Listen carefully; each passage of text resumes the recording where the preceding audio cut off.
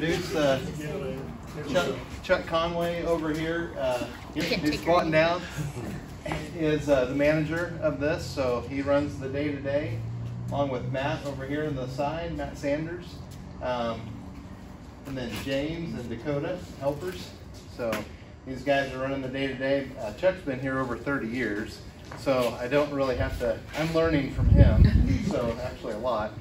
But uh, the oil's new for us. You know, my dad, my family's got a lot of heritage in the oil industry, and I I have dodged that till now, and, and it's here. So um, praying that the that the market picks up. But if we had the opportunity here this summer presented to us to to buy it, and the price was right, and the opportunity looked like it was just right for us. So so we uh, dove in head first, and, and here we are. But uh, uh, guys are doing a good job running day to day. We're we haven't tried to make as little changes as possible, so the customers don't really notice uh, anything different. Um, more of the changes have been internal.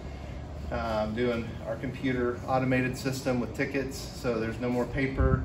Uh, they keep a history everywhere they go, so before they drive clear out to Garden City or Liberal, they can look up and see what's at the location before they leave here so they can take the right stuff, you know, horsepowers, motors, and all that good stuff.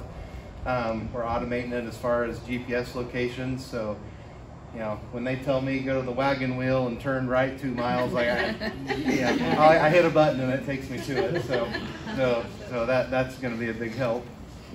But uh, uh, automate the inventory so they know uh, with a click of a button exactly what they have in stock here.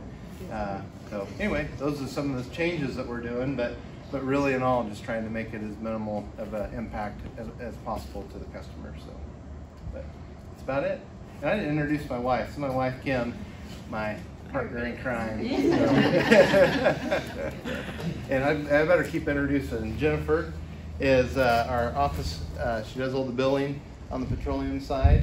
And then Ryan Hammeke over here, uh, the service manager on the Hammeke Electric side, kind of my right hand man, fill in everywhere else. So primarily oil field, uh, some, some agriculture, um, but primarily all the uh, pumping units that you see going up and down in the fields, primarily they're taking care of those. So, you know, the underground power that feeds to it, um, sometimes overhead, uh, they do that as well. Um, the motors, that's what you see all these the electric motors that are on uh, on the pumping units, you know, servicing those, changing those.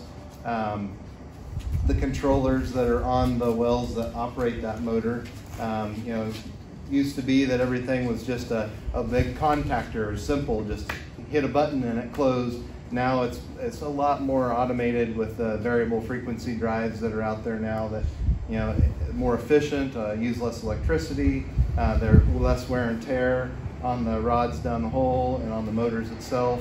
And so definitely got a lot more technical in the last, I don't know, 10, 15 years, something like that. So, so. What's your service territory?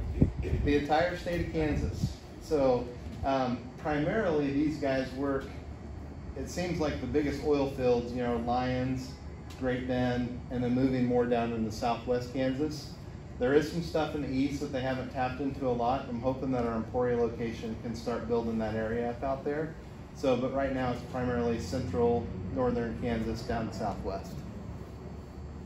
And western Kansas. Yeah, we do, yeah. we do stuff up in northwest Kansas also. And northwest Kansas too, yeah the, the state of Kansas.